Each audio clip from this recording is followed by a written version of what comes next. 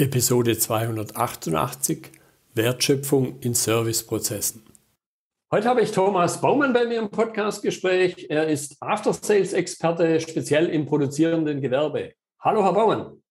Hallo, schönen guten Abend, Herr Müller. Grüß Sie. Ja, schön, dass Sie da heute dabei sind. Jetzt habe ich schon ein kurzes Stichwort zu Ihnen gesagt, aber stellen Sie sich gern noch mal den Zuhörern ein bisschen intensiver vor. Okay, vielen Dank. Ja, ich bin inzwischen über 20 Jahre im After-Sales-Service Vielleicht habe ich irgendwann einmal Pech gehabt. Nein, Spaß beiseite. Das ist für mich ja die schönste Disziplin im produzierenden Maschinenbauumfeld. So, ich habe äh, über die Jahre hinweg eine klassische äh, Ausbildung vom Facharbeiter bis hoch zum Bereichsleiter After Sales Service durchgemacht und kenne demzufolge alle Hierarchien aus eigener Erfahrung heraus sehr gut.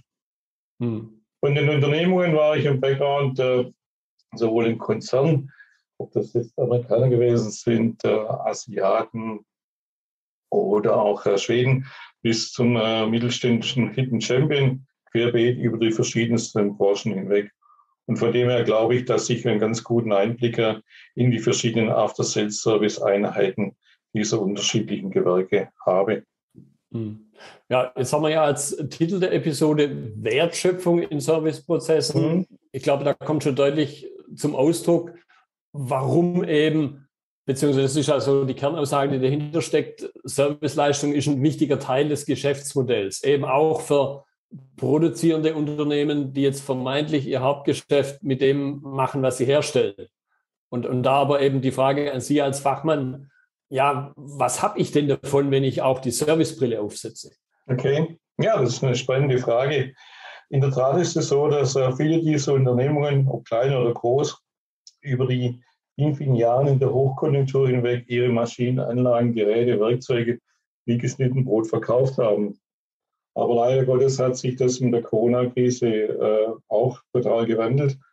Und wenn Sie heute eben das Thema After Sales Service mitbedienen, dann können Sie Ihrer Stammkundschaft über den kompletten Lifecycle von der Maschine und einer Anlage hinweg äh, ungeahnte Mehrwerte und Möglichkeiten bieten woraus sie ein hochprofitables Geschäftsmodell etablieren können. Hm. Ja, das ist ja schon gesagt, Lifecycle-Lebenszyklus. Jetzt betrachtet man ja primär, glaube ich, wenn man als erstes den Begriff hört, denkt man halt an den Lebenszyklus der Maschine an sich. Mhm. Und ich glaube aber, das ist jetzt meine Erfahrung, da nehme ich aber gerne natürlich mit, äh, wie Sie das erleben. Ich glaube, wenn man halt den Serviceteil mit betrachtet, dann kann man allein diesen Lebenszyklus noch ein ganzes Stück verlängern, oder? Ja, natürlich. Also der klassische Vertriebsmitarbeiter hat natürlich äh, ein Lifecycle bis zum Verkauf der Maschine oder Anlage, vielleicht von einem Jahr. Aber die After-Sales-Service-Betreuung, die geht ja oftmals 20, 25 und auch 30 Jahre. Mhm. Und über diesen Zeitraum hinweg hat man natürlich ungeahnte Touchpoints, die man da bedienen kann. Das fängt bei der Reparatur an, geht über die Wartung, die Sicherheitsüberprüfung, die Kalibrierung, das Ersatzteilpakete und, und, und. Und wenn Sie diese Klaviatur eben exzellent bedienen, dann können Sie da regelmäßig Kundenzufriedenheiten äh, generieren, die der Vertrieb dann immer hat. Ja, ja weil ich glaube eben auch, zumindest klang das für mich ganz deutlich an, eben, ich biete dann dem Kunden noch einen Mehrwert und dadurch entsteht auch wieder Wertschöpfung, das mhm. halt ohne nicht hätte. So nach dem Motto, hier hast du die Brezel, mit Essen ist es vorbei. Stimmt. Und im Maschinenbau geht es da eben noch viele, viele Jahre weiter. Da geht es dann um das Thema Predictive Maintenance, da geht es vielleicht äh, um Retrofits, um Upgrades, um Modernisierungen äh, bis äh, schlussendlich zur Verlagerung oder eben auch zur Verschrottung der Anlage. Mhm. So. Also, da haben wir natürlich äh, ungern die Möglichkeiten, diese Touchpoints eben äh, zielgenau zu bedienen und dann eben hochprofitable, hochprofitable Entschuldigung, Umsätze und Deckungsbeiträge zu generieren. Mhm. Jetzt äh, da nochmal nachgefragt, mhm. was ergeben sich dann zum Beispiel auch für Wechselwirkungen mit dem, nehmen wir es mal, klassischen Produktlebenszyklus, wenn ich also den Servicelebenszyklus in den Produktlebenszyklus stelle? Ja, also schauen Sie, wenn jetzt ein Servicetechniker über viele, viele Jahre seine Anlage beim Kunden XY vielleicht in den USA bedient, serviciert, wartet, repariert und, und, dann hat er natürlich äh, Detailkenntnisse, die viele äh, nicht haben.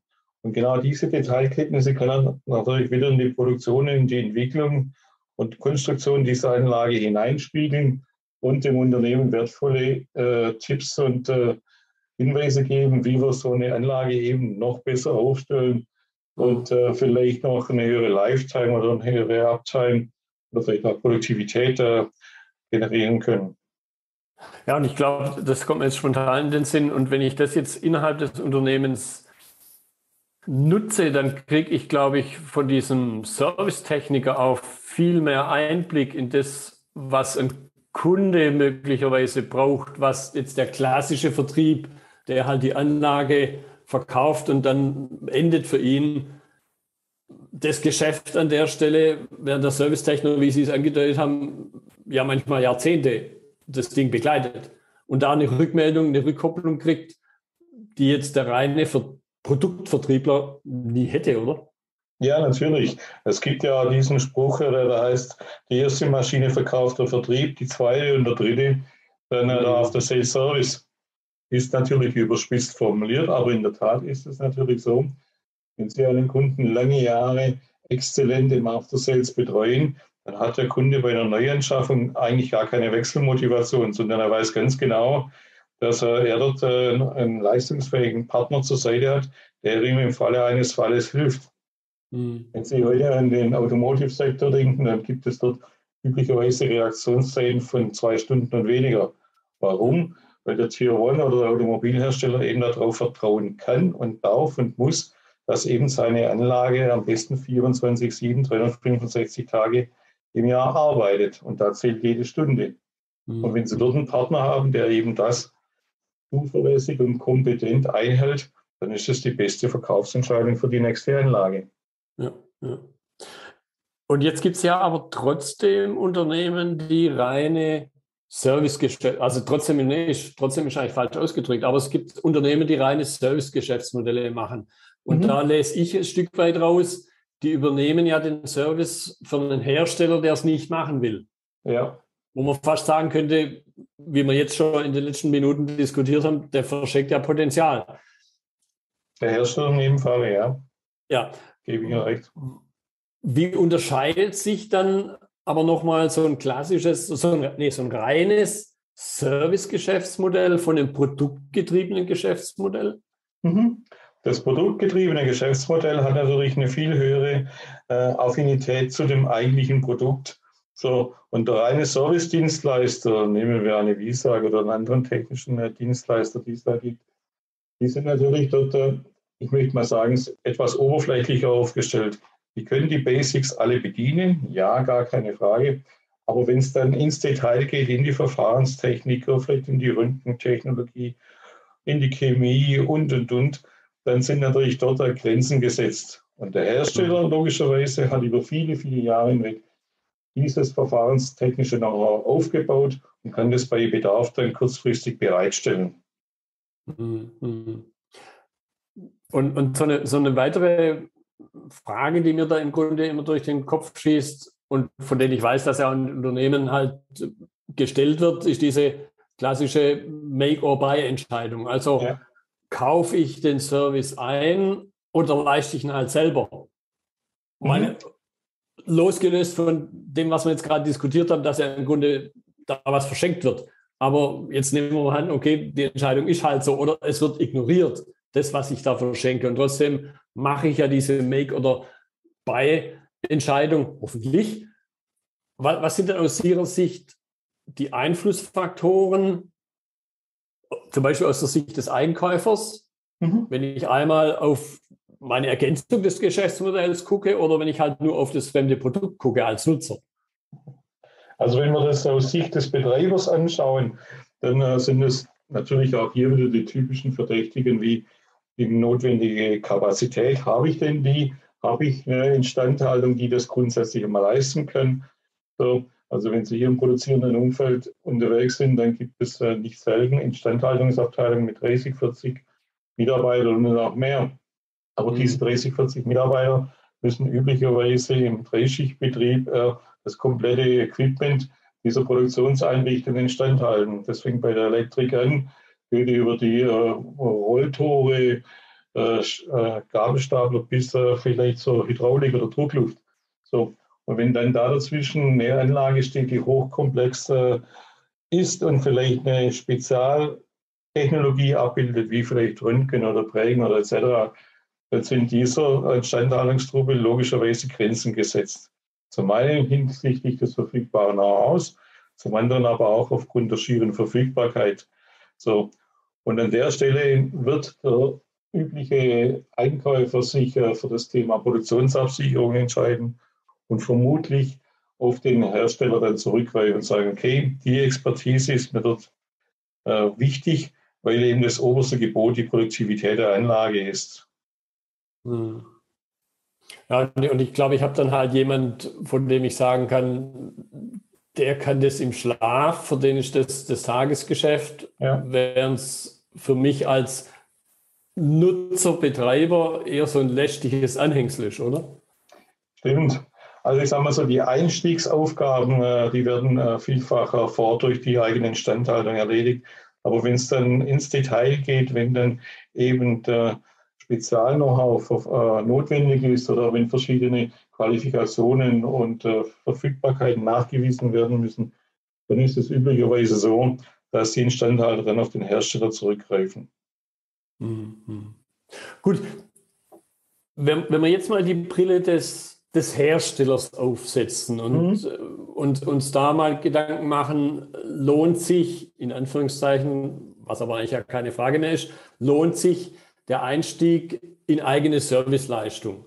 Was sind dann die, die Fragen, die man sich am Anfang stellen sollte? Und wenn man da eine positive Entscheidung für die eigene Serviceleistung findet, was sind dann so die ersten Schritte, die man geht, um eben neben dem reinen Produktgeschäft auch in das Servicegeschäft einzusteigen? Mhm. Ja, ich denke, das ist ja eine klassische strategische unternehmerische Entscheidung, die man dann da treffen muss. So, also wenn ich angenommen heute als Premium-Hersteller am Markt etabliert bin, so, dann komme ich eigentlich nicht umhin, auch einen qualitativ hochwertigen After-Sales-Service anzubieten.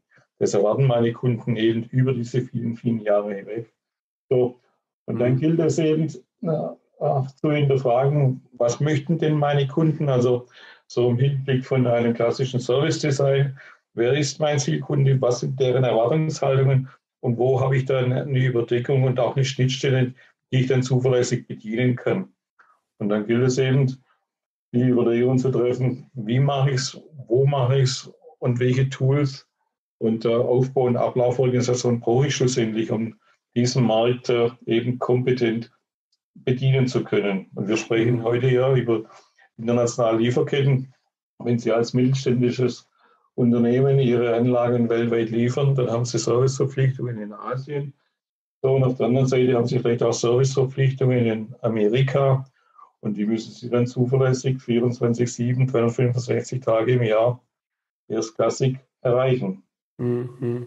Gut, und ich glaube, zumindest kenne ich das ein oder andere Unternehmen indirekt, mhm. das jetzt vor der Entscheidung steht oder, oder zum Teil auch so realisiert, okay, ich kaufe mir da diesen Teil zu.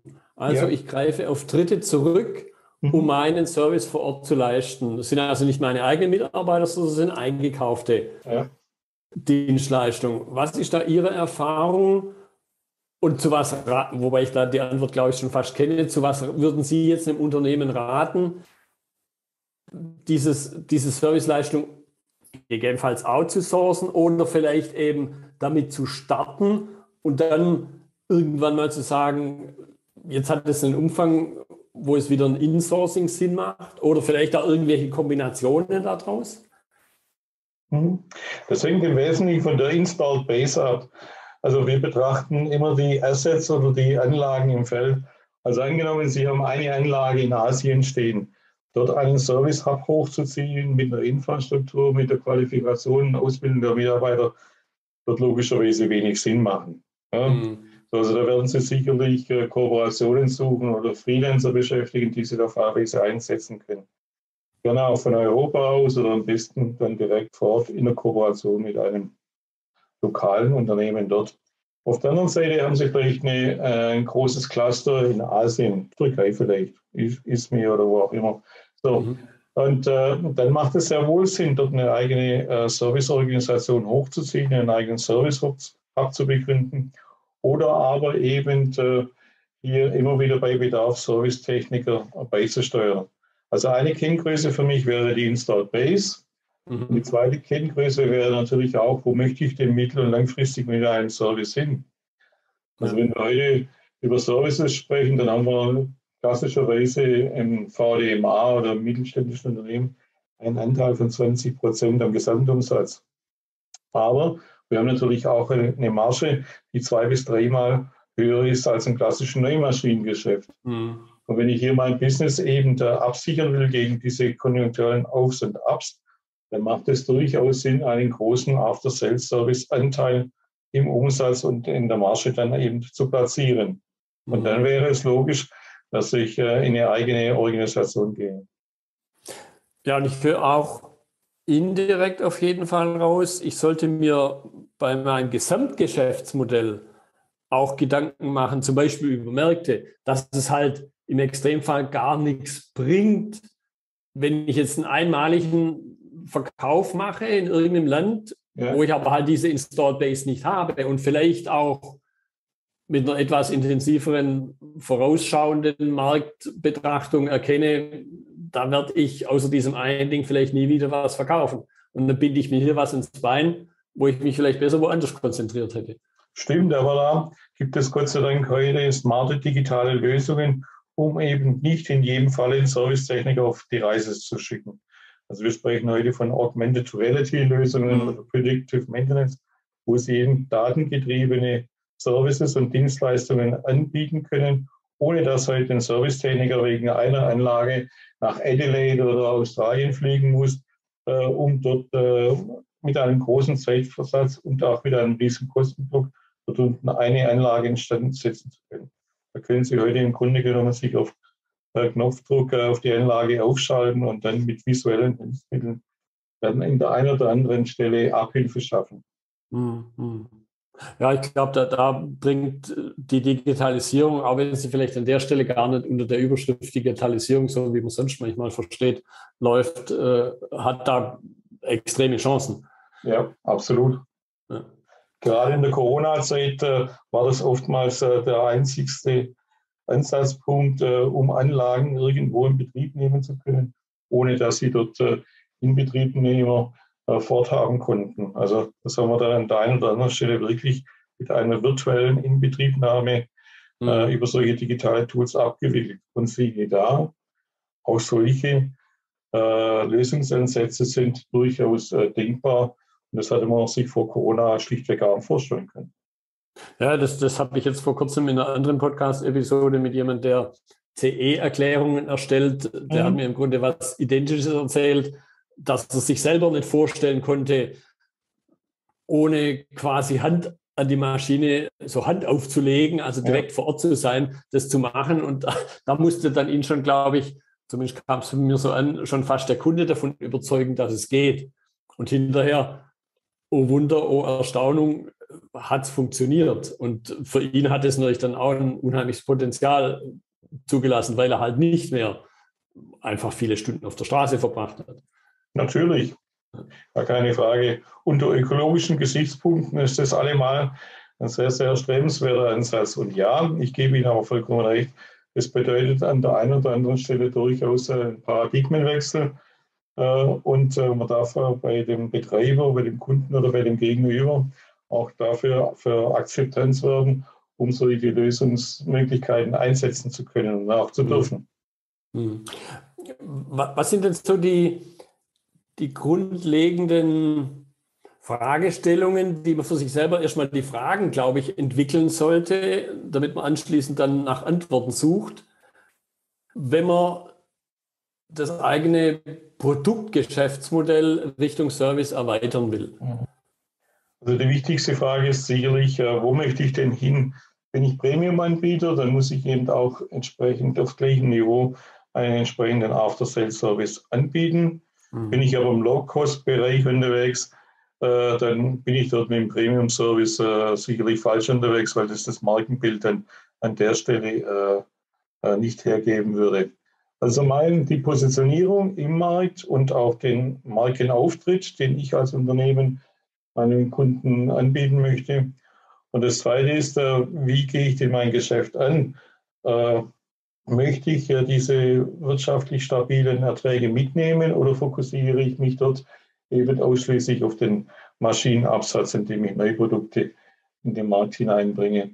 Und wenn man da eine klare Aussage hat und da auch eine Aussage, die mittel- und langfristig äh, Wirksamkeit haben soll, dann kann man da im zweiten und dritten Schritt daraus ableiten, wer sind meine klassischen Zielkunden und was ist denn auch deren Erwartungshaltung? Muss ich in Service 24-7 ableisten oder reicht es, wenn ich nur einmal in zwölf Monaten dort vorbeischaue und wie so eine TÜV-Prüfung dann ableiste? Wenn ich nur eine TÜV-Prüfung ableisten muss, dann kann ich auch da selbstverständlich gerne auf äh, Party-Dienstleister zurückgreifen oder Freelancer oder wo auch immer. Mhm. Aber dort, wo eine hohe Technologie und ein hoher Anspruch und eine hohe Uptime von einem Betreiber erwartet wird, kommt man schlussendlich nicht über qualifiziertes eigenes Personal umhin. Ja. Und da auch an der Stelle vielleicht Service-Business ist nach meiner Erfahrung absolut People-Business. Wenn Sie da Servicetechniker rausschicken, die technisch sehr, sehr gut sind, aber die ihre Lösung nicht verkaufen können, im wahrsten Sinne des Wortes, wird der Kunde lange nicht so zufrieden sein, wie wenn der Servicetechniker auch seine Aufgaben entsprechend erklären und erläutern kann. Ja, und, und dann glaube ich, das, was, was ich vorhin schon angedeutet habe, eben auch wieder diese Rückkopplung, mhm.